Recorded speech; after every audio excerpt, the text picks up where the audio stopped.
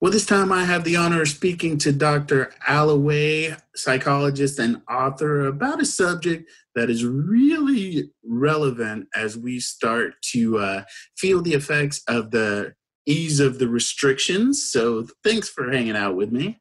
Thanks so much for having me, Rance. Always great to see you. Always great to see you. Now, we've had many conversations on River City Live with you about how to deal with quarantine and being a staying shelter in place and that kind of thing. Well, now people are going to be going back to work. Maybe not as uh, full force as you might think, but it's still going to be a little bit of a transition. So I wanted to talk to you today about how do people mentally prepare to return to work?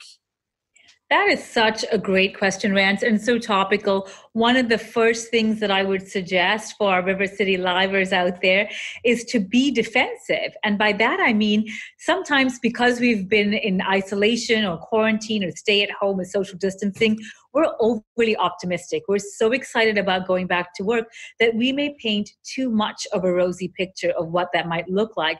And that can actually be counterproductive. There's a lot of research to show that this idea of blind optimism is actually harmful to us. So by being defensive, we're adopting a proactive, a little bit pessimistic uh, outlook, but it helps us prepare. It helps us to think about what can go wrong and how can I prepare and plan for that and kind of be proactive on the front end instead of being reactive when it actually happens.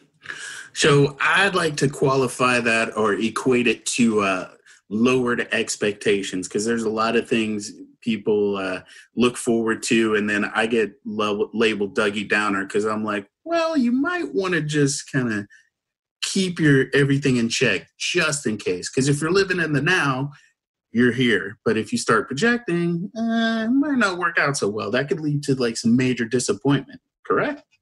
Yeah, and there's certainly a lot of research to suggest that that that kind of reframing and how you focus on the situation can make a big impact as well. Reframing is one adjustment people can make. Do you have any uh, tips on other adjustments people can make as they transition from home to workspace?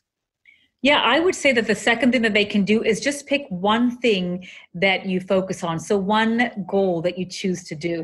And again, part of going back to the workplace, there could be a lot of uncertainty. What could happen, what you know might happen versus what it used to be like. And so that can act, um, add a lot of confusion it can also make us feel very uncertain about re-entering the workplace as, as we used to know it. And so the way to counter that confusion or that uncertainty is to be um, autonomous to have a sense of self-control. And the way to do that is pick just one goal in which you'll accomplish in the workday. And maybe that's you know this is the project that i'm going to try to get half done today. Whatever that might be that one goal it's really important but it helps us identify that sense of autonomy in our workspace and our workday how many people have spent quality time working from home with the kids biting at their ankles like pay attention pay attention. And as much as people maybe want to go back to work there might be a little bit of guilt or some sort of hesitation about how it's going to affect their kids. Do you have any tips for how a parent deals with going back to work leaving the kids at home I think a focus of gratitude can really make a big difference now. So instead of feeling the guilt, replace that with the gratitude and think of what did I really enjoy? And also what can I continue to enjoy? So maybe I do have to go back to work and I'm back, you know, five or six in the evening. What is something that I can be grateful for that I can look forward to at the end of the evening with my children? So shifting the focus away from a guilt-based framework to a gratitude framework. And we know lots of research to show this type of mindfulness or gratitude can actually shift the way in which we functionally use our brain and make a huge difference. Just really quick, what about talking to your kids? Because your kids have gotten used to you being home, and now all of a sudden it's like, well, daddy's got to go back to the workforce. Are there any things you can say to your kid to kind of allay their nervousness or their fears? Keeping a schedule or a routine is a big factor in that.